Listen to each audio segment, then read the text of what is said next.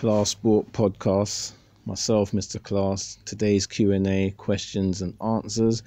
The question I was asked by an anonymous fan was, "What do I think of football players and managers taking pay cuts?"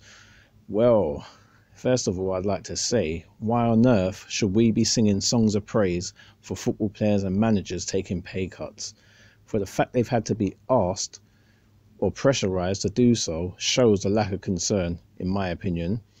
Taking a 30% pay cut from 100 grand a week, 150 grand a week, 200 grand a week, and so on, it's not really a big thing. Some people don't see 100 grand or 150 grand in their annual salary, and that's facts. Um, at the end of the day, the nurses, the supermarket workers, bus drivers, um, they're all putting their lives at risk and they're putting their families' lives at risk because any of them could pick up the virus, and also the volunteer workers that are actually putting their lives at risk too, and they're doing it out of the kindness of their heart and not getting paid at all. They're the people that we should be singing songs of praise for if we're going to sing songs of praise for anyone.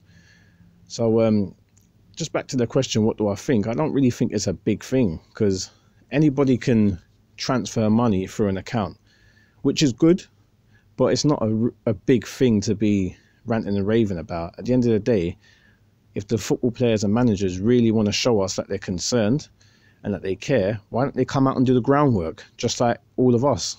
Come out and do the groundwork. Come out and volunteer. Come out and actually put your gloves on, put your mask on. You know, come out and do, do the groundwork, whatever that may be. Come out and do the groundwork because it's, it's easy to transfer money while you're sat in your glorious mansion and living a top life. And I'm I'm not criticizing the way they live or putting them down, but anybody can send money. It doesn't show you care. How about a hundred percent pay cut until the season resumes? That would be fair, because at the end of the day, some of these workers, like I said previously, they're not even getting pay rises. Some are, but some ain't and especially like I said, the volunteers, they're literally doing it for free, risking their lives for free just to help people because they're kind-hearted people. So a 30% pay cut or whatever the pay cut may be, come on guys. Should we really be warranting these football players and managers heroes for taking a pay cut? I don't think so. So and that's all I will say on on on this particular subject.